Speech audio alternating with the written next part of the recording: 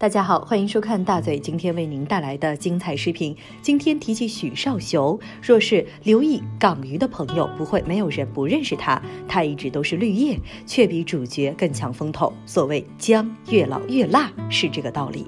他不仅演技了得，更是见证了香港娱乐圈的辉煌和衰落，在 TVB 也有着很高的人缘。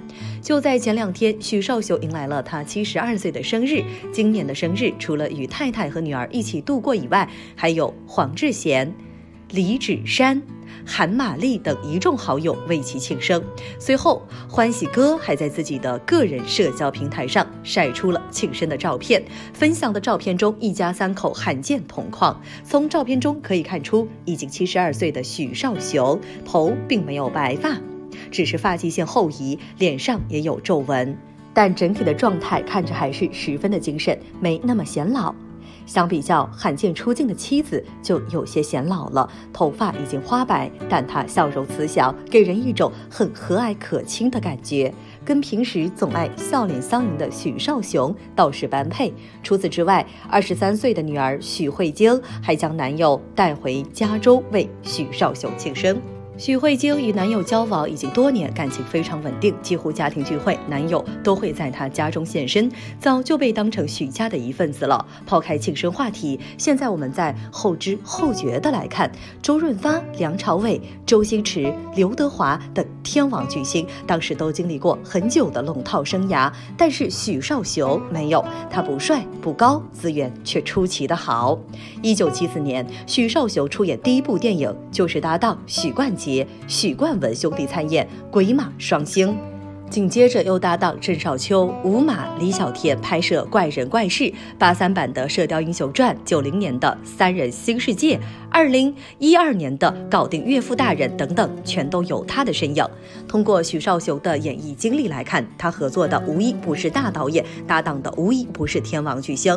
从狄龙、许冠杰到周润发、刘德华，再到刘青云、徐峥等等，可就是这么一位多产高质的金牌绿叶，却在拍完《使徒行者》之后黯然退圈了。想想都觉得很遗憾，果真是因为岁数大了吗？也不全是。二零一八年四月底，一条关于七十一岁香港男演员许绍雄露骨网聊粉丝的新闻在网上炸开了锅。就爆料的信息来看，一个疑似许绍雄的账号在跟女粉丝网聊过程中言语轻佻，舆论圈。一片哗然。当时正在拍戏的许绍雄百口莫辩，尽管后来证实这个网聊事件只是某些有险恶用心之人的策划，但是面对铺天盖地的辱骂和质疑，他的澄清显得苍白无力。万般无奈之下，许绍雄先是给老婆录视频证明清白，最后为了让老婆女儿安心，他更是选择用移民新加坡的方式对抗网络暴力。就此，一位出道四十九年、演过近百部电影、超过一百五十部。部电视剧的金牌绿叶以毅然决然的方式退出了娱乐圈，他究竟有怎样的故事？他近况如何？且听大嘴娓娓道来。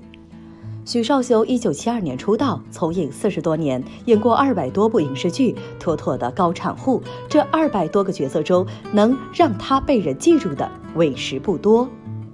星扎师兄、暗战、澳门风云、使徒行者。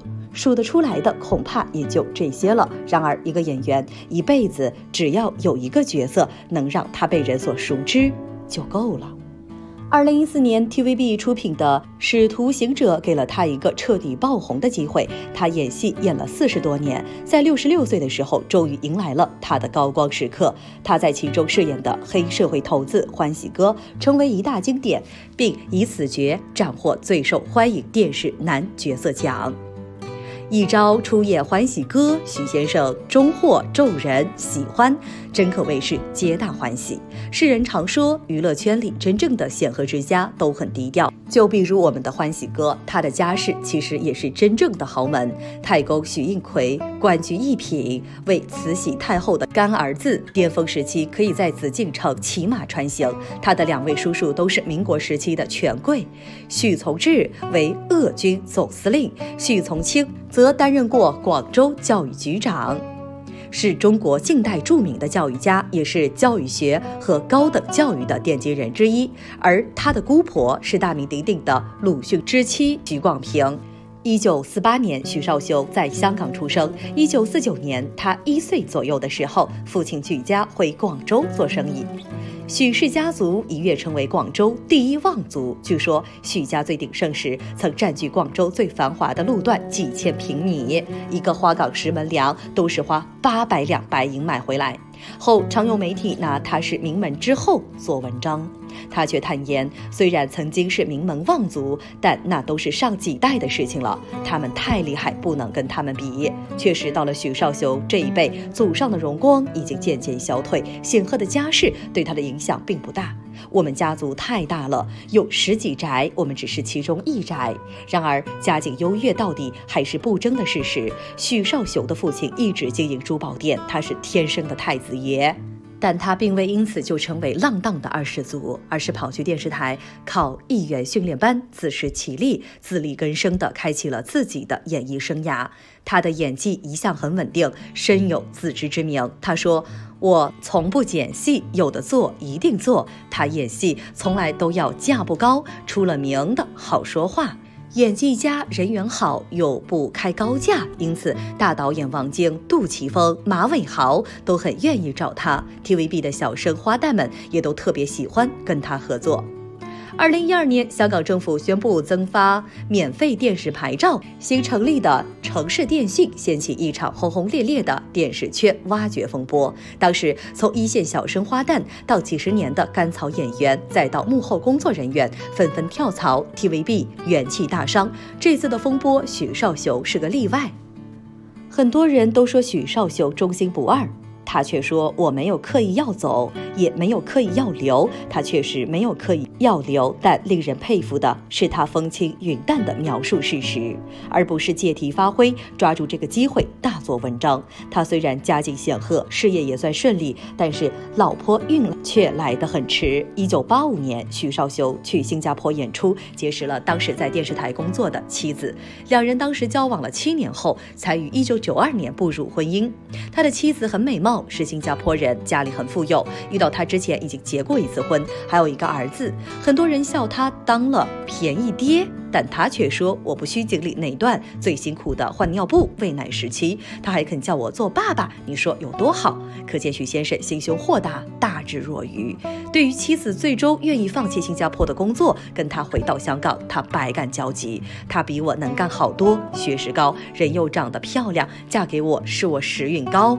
一九九八年，他们结婚五年后，他们有了爱情的结晶。这个孩子是意外来的，老来得子。一开始他很担心太太，多年后他仍心有余悸。太太是高龄产妇，临近生产还得打安胎针。我亲眼看着药物打入她的血管，随血液运行，像恐怖片一样。我太太她真的很辛苦。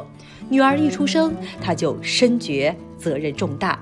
为了女儿的学习，他甚至专门为女儿开设了一间补习学校，老师都是从新加坡高薪聘请而来。为了更好的赚钱培养女儿，他把时间都用来拍戏，一年十几部是常事。对他来说，赚钱养家比什么电影理想更实在迫切。所以，他虽然年岁渐老，但绝不肯轻言退休。偶尔有拍戏的空档，他亲自开车接送女儿上学、放学，抽空陪女儿看电影、过生日。为数不多曝光的私照里，与女儿相处的时光，许先生一脸幸福，女儿娇憨可爱。时间过得很快，在妻子的精心养育和他的苦心陪伴下。当年千难万苦生下的小女儿，如今已经大学毕业，美丽如当年的妻子。话说，自从网聊风波后，许绍雄为了妻女，就已然申请成为新加坡正式公民。如今算一下时间，应该已然得到了批复。据了解，许绍雄由于太太是新加坡人，所以一家人经常往返两地，由此才使得许绍雄下定决心成为新加坡公民。其实，除了这个原因之外，还有。另一个原因，那就是虽然年纪的增加，他想要过稳定的生活，再加之女儿又大学毕业，所以决定移居当地。而许绍雄也曾多次提及喜欢住在新加坡，却因为觉得当地很安全。为此，许绍雄特地在新加坡购买了四千尺的大豪宅，前后花费四百万新加坡币。虽然当时豪宅被曝光，但也仅仅是片面的。直到后来，徐少雄接受新加坡一家媒体采访，这才得以曝光其豪宅内景。据悉，许绍雄的这座豪宅是单独的独立屋，位于益顺区。踏入花园便可见到与独立屋并齐、长度横跨整个客厅与饭厅的长窄型泳池。走进房间，首先映入眼帘的是客厅与饭厅。饭厅设计可直望上层，另外还有着六间独立屋，每层有两间房。在其女儿许慧清的房门外挂满了她的证书，显得十分气派。另外还有着一间采光极好好的偏厅。除了豪宅内部景色曝光之外，许绍雄还透露退休后的打算。据其讲述，有意搞珍珠奶茶生意，因为还没有老到什么都不做吧，搞点小小生意也好。如此看来，许绍雄的晚年生活一定会十分幸福。此情此景，真的是让人十分羡慕。